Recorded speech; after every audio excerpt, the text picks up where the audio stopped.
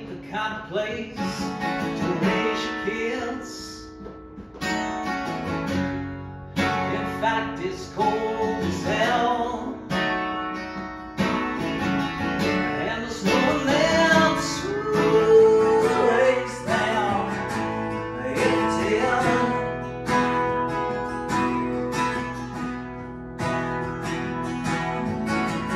And all this science I don't understand.